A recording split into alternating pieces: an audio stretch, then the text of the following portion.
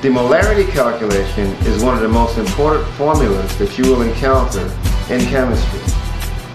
In this video, I will explain how to use the molarity calculation to determine the molarity of a solution, the number of moles required to make a particular solution, and the volume of a solution based on the molarity.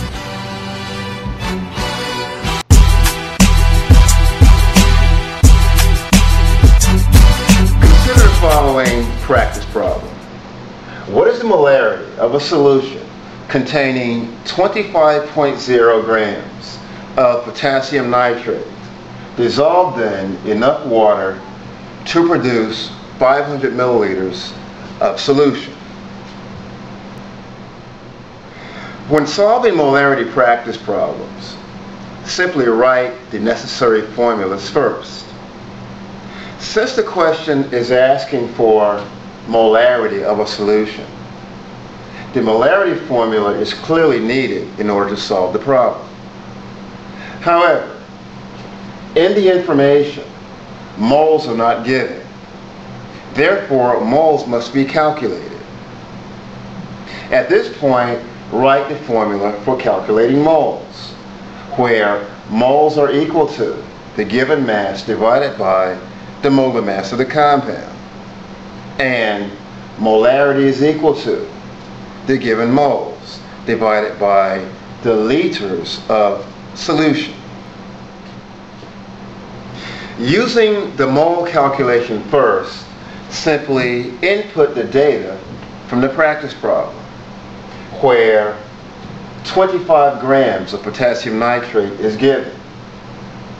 From the formula for potassium nitrate, the molar mass may also be calculated, where the molar mass of potassium nitrate is 101 grams per mole.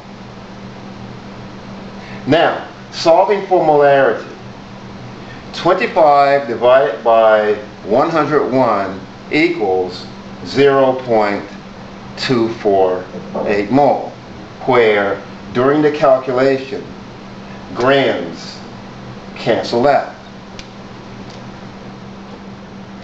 At this point, it is possible to calculate the molarity, where molarity is equal to moles of solute divided by liters of solution.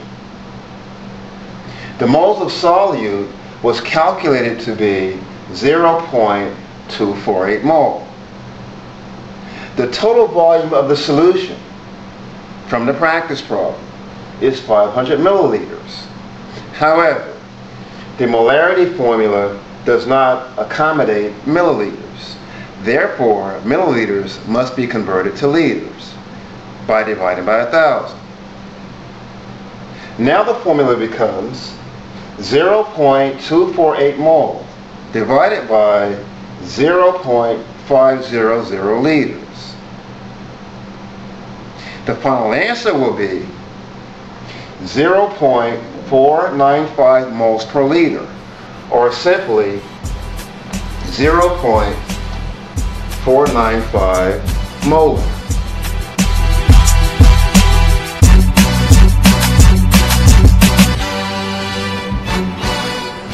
What if you're asked to determine what mass magnesium chloride is required to prepare 100 mLs of a 0.750 molar solution? In this case, the practice problem is asking for final mass. As a hint or general rule, if the problem is asking for the mass, then the formula to use last will be the mole calculation. Since the mole calculation is being used last, clearly the molarity formula should be used first. However, in this particular case, the molarity formula must be rearranged to solve for moles.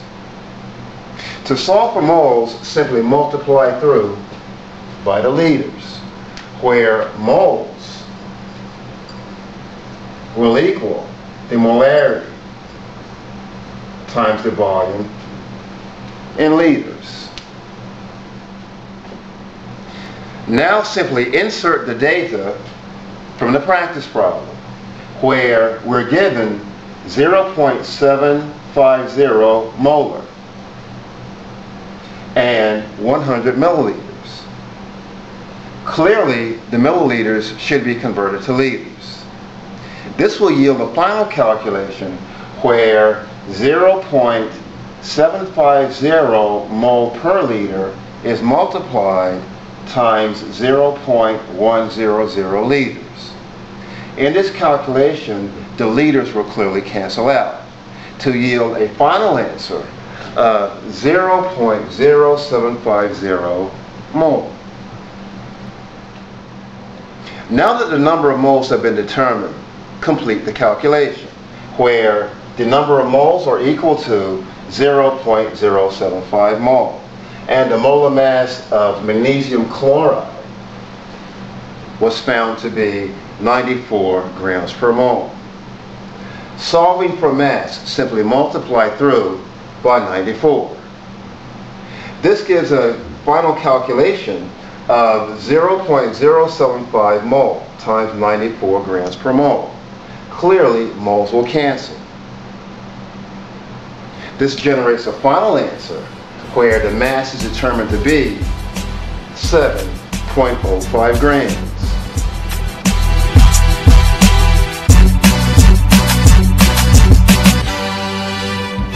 The molarity formula may also be used to determine the volume of the solution. Consider the following practice problem.